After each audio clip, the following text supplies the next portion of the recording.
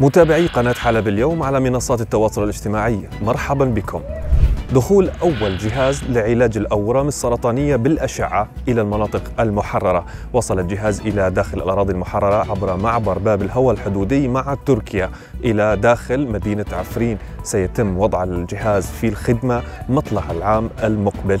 هذا الجهاز ضروري جدا لعلاج مرضى السرطان. كثير من امراض من أمراض السرطان وكثير من مرضى السرطان يتطلبون علاج بالأشعة. كانوا يضطرون للسفر إلى داخل الأراضي التركية لتلقي العلاج. الآن هذا الجهاز سيخفف من معاناة مرضى السرطان. كذلك يخفف من معاناتهم للسفر إلى خارج الأراضي السورية.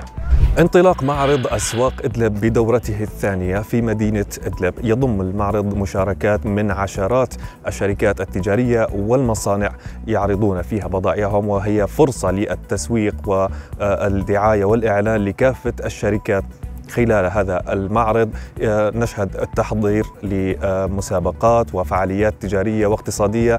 أيضا يوجد تخفيضات لترغيب سكان المنطقة بالمشاركة في المعرض. كذلك نشهد آه، إقبال جيد على المعرض من قبل سكان المدينة والمدن المجاورة وأرياف إدلب. المعرض مستمر لمدة أسبوعين. تم إيقافه بشكل مؤقت هذا اليوم بمدينة إدلب بسبب الأوضاع الأمنية.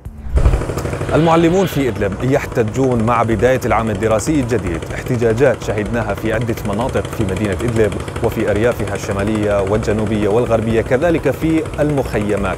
احتجاجات المعلمين كانت على الوضع المتردي للرواتب. طالب المعلمون بتحسين وضع الرواتب و رفعها لتكون متناسبة مع بقية الموظفين في المؤسسات الحكومية وفي المنظمات الإنسانية. رواتب المعلمين الآن في إدلب تتراوح بين ال 50 دولار إلى 160 دولار أمريكي بحسب المنظمة والمؤسسة التي يعملون بها كذلك في المدارس الحكومية. هذه حاطتي لليوم. دمتم بخير.